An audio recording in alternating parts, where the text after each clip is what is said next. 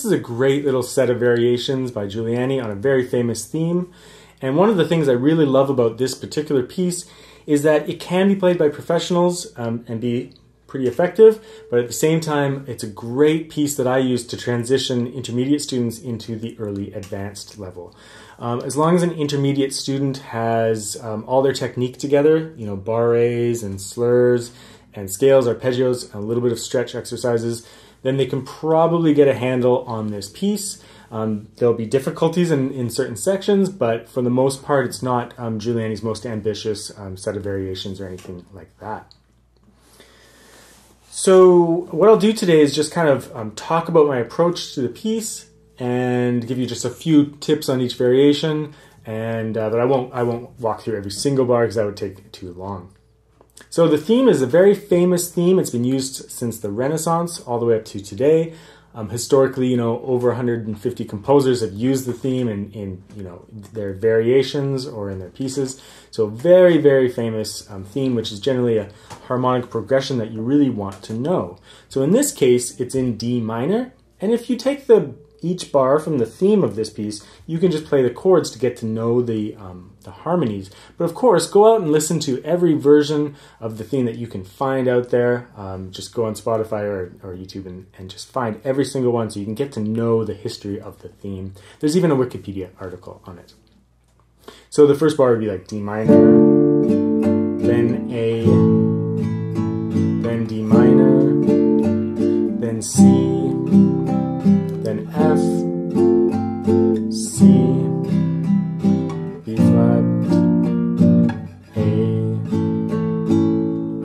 Um, Giuliani throws in one or two um, secondary dominants, but don't worry about that right now. But get to know that theme. And for the theme of this piece, choose a, a moderate tempo because um, as you go through the variations, you might want to stick with the tempo for at least the first few variations. So don't go too fast because this is only eighth notes and you have some ones with 16th notes coming up.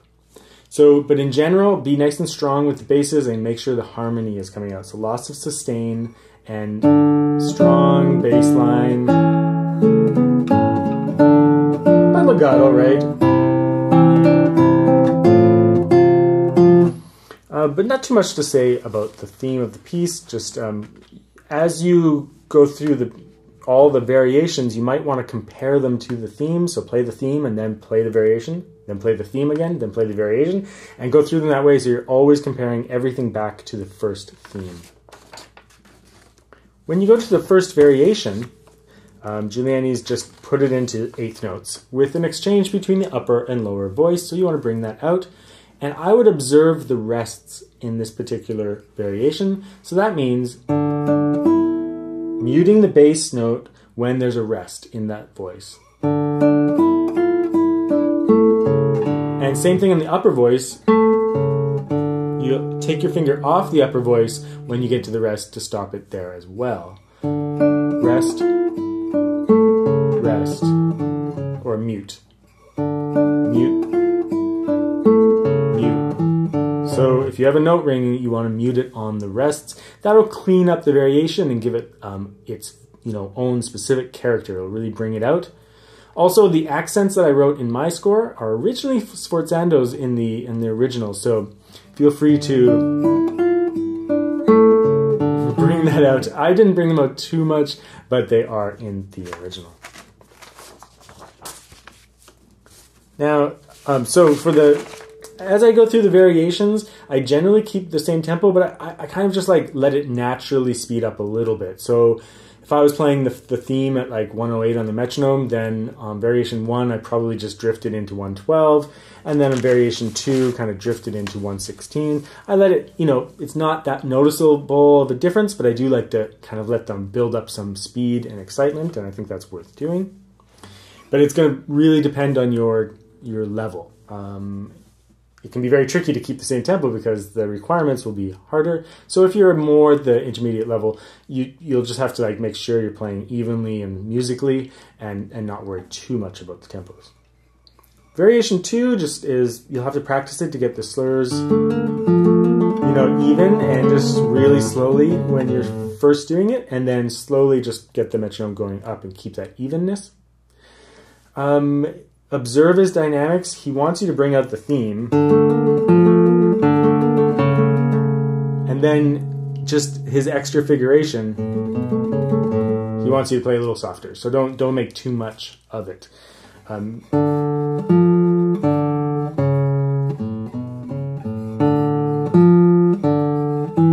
you just really want to bring out those harmonies as much as possible. In bar six of variation two, um, I do a quick change there. I go two, three, four, and then change on the open string. It's in the fingering, but um, it's a it's a bit of a fast exchange, so just watch that one. Um, lots of opportunities to uh, push the tempo there, uh, so it all will depend on your level of athletic technique. Variation three, I generally, like I said, um, keep the, the tempo going, and so um, I continue to speed up a little bit, but but still generally in the approximate range. So he has this one in triplets. So he goes like theme and quarter notes and eighth notes. First one is in eighth notes, second one sixteenth notes. Now he's in triplets. So very typical kind of classical set of variations. This one just lots of barre. And I would mute the basses on the rests as well. So that means rest, rest, rest, rest, rest. Uh, uh, and you go on like that. So just observing those rests, I think again it cleans up and gives the cleans up the texture and gives the variation some of its character. Um, there's a little passage at the end in bar 63 that's a little bit tricky for fingering in the right hand, like I have the left hand fingering in there, but right hand fingering, I actually do A, M. This is in bar 63 or second to last bar of this variation.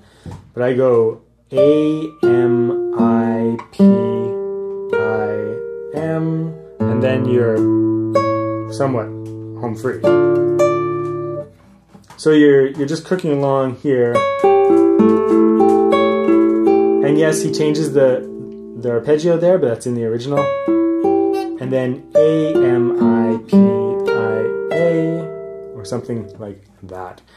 You just have to practice it slowly. It's not a typo. That's the that's what's written. So um, practice it really slowly, and it actually works out fairly well. Just give it lots of time.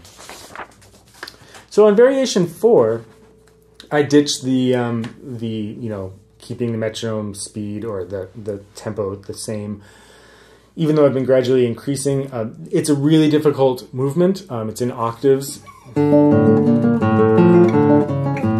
Um, so it's really just going to depend on your level. If you were to keep it at the same tempo that you're going, and you're, doing this at like one, you know, 26 or something, uh, it's going to be pretty, pretty difficult in, to, to do it.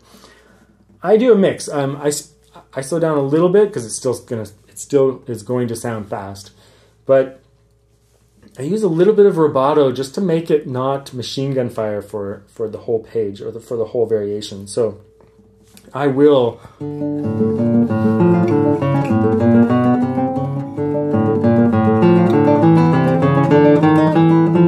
know, I, I kind of go through a phrase and then back off a little bit. So I, I add a little bit of rubato in there. That's that's just a choice that I made for the movement. Um, partly to bring the speed up but give me some relief, but also um, to just break up the, the phrasing of the piece, which otherwise would be just like constant, like, you know, lots of uh, that kind of erratic energy. So if you choose to do that, you can just add a little bit of that in. Variation 5, very welcome change. Um, here he's in the major keys in D major, so we've gone from minor to major now, and and he's also put like a poco adagio, so just a lot slower. Um, just time to chill out and show a gentler side of your musicality. In some ways, though, this is the harder movement than the rest of them because it's such a sensitive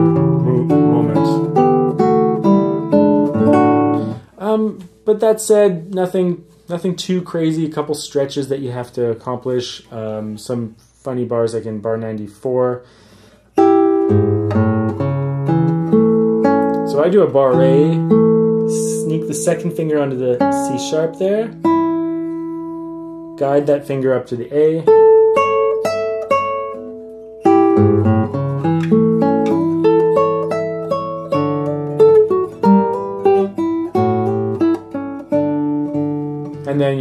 you're home free there. A little bit of articulation fun with staccatos later on. Um, there's one freaky moment at 103. I couldn't find a different finger. I do a barre with my third finger. So weird, but you know, every time I tried to do it in a different way, um, I would lose some of the sustain from the upper voice. So I didn't want to lose any sustain, so I, I did do that, that wacky fingering there. And then you just um, you have a little moment of pause near the end, which is so welcome before we get to the finale or the variation number six. It's always kind of a funny variation for me. Um, it's kind of a catch twenty two on this one. Uh, the the ending can be pretty fast. Um, some of these sixteenth notes, um, some of the arpeggios, some of the figuration near the end so that can be a little bit tricky at fast tempos, but the beginning of the variation really does, it wants you to cook quite a bit. But if you go too fast, you're going to run into some serious troubles later on. So again, it's dependent on your on your technique level, but I just tried to do as much of a compromise as possible. I would I picked the fastest possible tempo for the end, and then um, you go back to the beginning and just and you go at that speed. But one thing I will say is that when you lower the tempo, so if, if you don't like the speed going slower at the beginning, you know, it feels lame um, or like low energy, uh, just up your articulation level and be nice and crisp.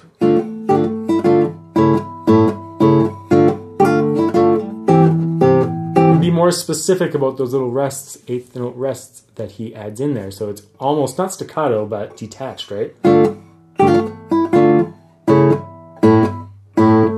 Um, so the more specific you are with the articulation, the more interest there is in the variation, which will distract from maybe the less than ideal speed that you might want for the for the last variation there.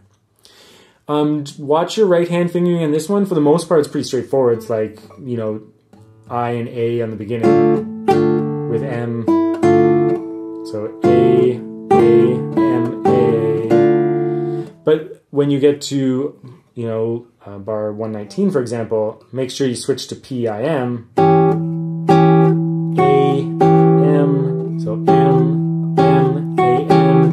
Those little changes are just fast enough that you do want to alternate fingers but it's pretty straightforward. Um, it doesn't even matter particularly what fingerings you do use, but you must alternate. So I would do it like that. If the strings are spaced, use IA. If the strings are next to each other, generally use um, um, I and M, and throw in the A finger for the alternation. Besides that, some dynamics to follow later in the piece, and some watch out for those sforzandos. They're kind of effective in this particular piece. And then when you get to 146, ah, just go totally legato. After all this sh short articulation,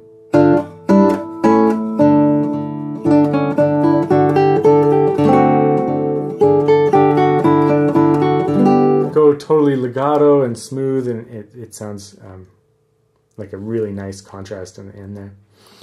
So I hope you enjoy that set of variations. I think it's a great example of the classical set of variations and um, such a great famous theme in that minor key.